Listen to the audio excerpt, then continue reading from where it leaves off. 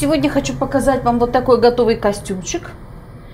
Недавно вам показывали ткань, к нам пришла из Испании такая с шерстью тепленькая тканечка, и на ней такие восхитительные вышитые цветочки.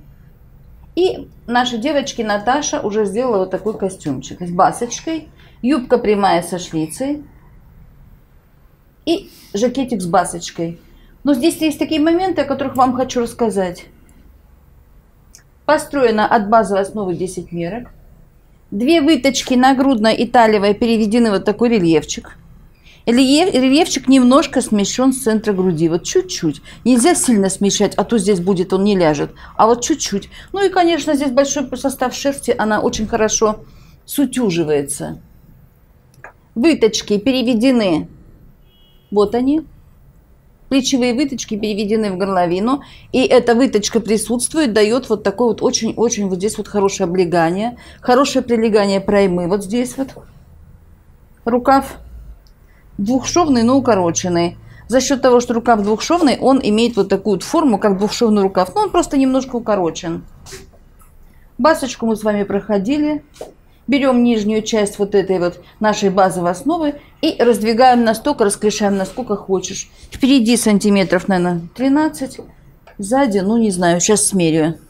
Сзади 23 сантиметра. По центру спины шов и еще два рельефчика. Но это не, не подрезные бачки, это рельефчики, потому что боковой шов тоже сохранен. Благодаря такому количеству швов очень легко было его приталить вот до вот этого состояния.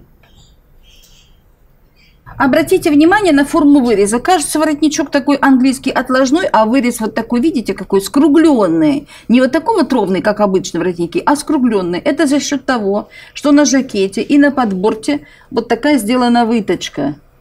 Вот она начинается, и вот она заканчивается. Вот начало, вот конец. И просто такая выточка внутрь.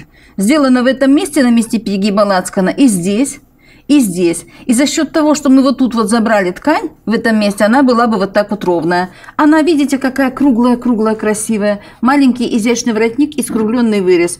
Вот эти вещи, вот эти, дают очень красивую форму выреза. С ней можно добиться очень красивой формы. Но еще здесь нет пуговичек. Смотрите, Наташа выворачивает уголочки ниточками, с той стороны прошивает, выводит, потом ниточкой вытаскивает уголочки красиво. Еще даже она ниточки не убрала, я у них уже взяла, уже показываю. Баска на подкладке. Баска всегда подшивается подкладкой сразу с перекатом шва. На баске никогда не делайте вот такие вот подгибки тканью и подкладка, как низ жакета. Всегда вот так вот.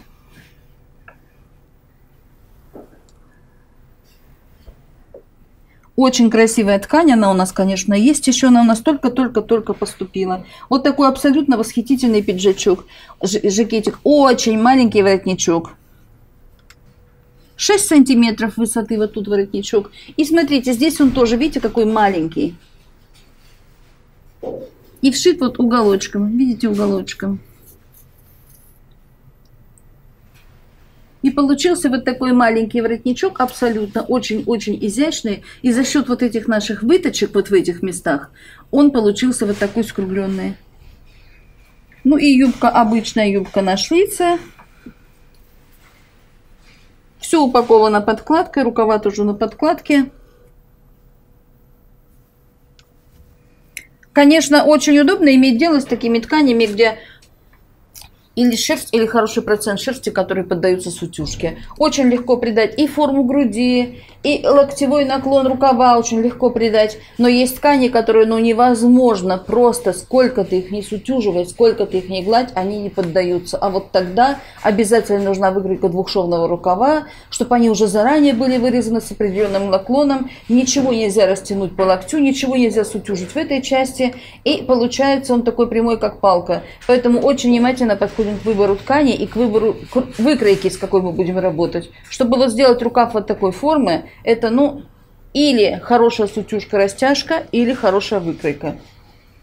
Ну вот, показала вам вот такой вот костюмчик. Скоро снимем пальто, и нам нужны будут вот какие-то вот такие не совсем еще летние костюмчики.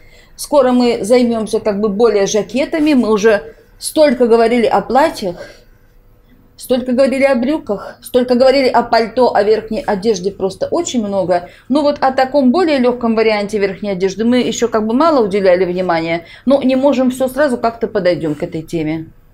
Самое хорошее в этой истории то, что у нас на эту даму, которая у нас заказчица, у Наташи есть базовая основа, все, что бы она ни заказывала, Наташа в любую минуту скроет все, что угодно. Нужен жакет, будет жакет, нужны платья, будут платья, нужны пальто, будут пальто. И она у нас одевается по одной выкройке, мы ей шьем все.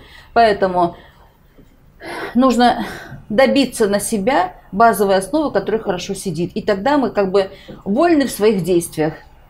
А технология тоже непростое дело, но мы медленно, медленно, медленно, медленно, потихоньку, потихоньку все равно стараемся как бы вас ну, знакомить ближе с технологией. Поэтому вот такой жакетик, здесь особых технологических узлов, вот кроме воротника, ничего такого здесь нет. Обычный жакетик, хорошо посаженная основа и пришита по линии талии басочка. Чуть-чуть завышена линия талии, чуть-чуть, вот так, наверное, капельку. Заглядывайте на наш сайт, на наш интернет-магазин, на наши курсы. Приобретайте необходимые вам курсы, а мы будем вас радовать новыми курсами. Всего хорошего. С вами были мы, Паукштина Михайловна и вся наша команда, ну и Наташа.